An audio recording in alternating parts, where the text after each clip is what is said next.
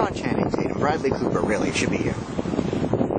Bradley Cooper should be me. No, it should be you. Oh, it should be Bradley me. Cooper. Oh, sorry. Look, I think Brad's tough. I mean, I really do. I think he's one of the better actors of our generation for sure. I, I think he deserves everything he gets, and that's all the political stuff. But I mean, I, I don't really know what that even means. Like, I don't even know what the sexiest man of the year is or whatever. I, I don't.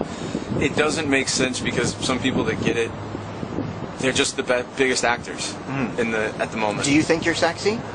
I, I, I get to have a lot of sex with my sexy? wife, so like, yeah, I've done a good job on that. Tatum, how obsessed are you with your body?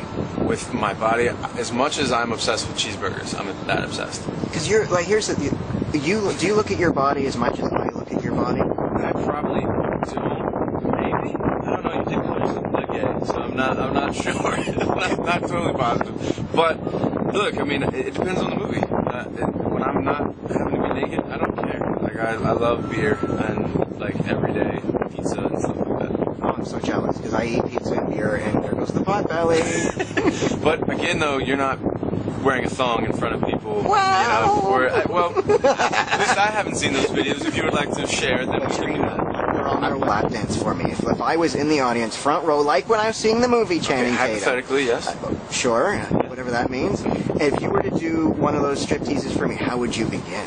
And How would talk I begin? slowly. Uh, talk slowly. I would first be like, I'm gonna give you a lap dance, and then then it's all just up for grabs after that. I'm a big I'm a big lover of improv. You know, I go with the person that you know. It, so sometimes you got to read the person. Sometimes they like it slow. Sometimes they like it fast. Sometimes they like you to abuse them. Sometimes they like you to just essentially take if I had like that one of those five, where, would, where would I put it? Front or back here? That's your choice. Nice. Oh, this is just great. That's your choice, bud.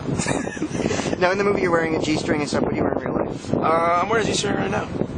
Prove it. Hmm? Can't. It's my wife my wife only. She gets mad when I show everybody my thongs. Love this movie. My fiance Matthew. Yeah? My fiance Matthew would cheat on me with you in a heartbeat. So if you were to say not anything to Matthew, what would it be? Maybe don't cheat on your man. Don't do that. I don't care. Well, everyone's allowed a top five, and you're in his top five. I mean, who else is in the top five? Uh, who knows? All he does is talk about you. That's, well, I'm telling him I'm honored. What's his name? Matthew. Matthew, if I ever see you, maybe we'll do this. Hey, Yeah. I'm right here. Dude, so good to see you once again. Thank you so much, and congratulations. Thanks, man. Cool. I appreciate you, bro.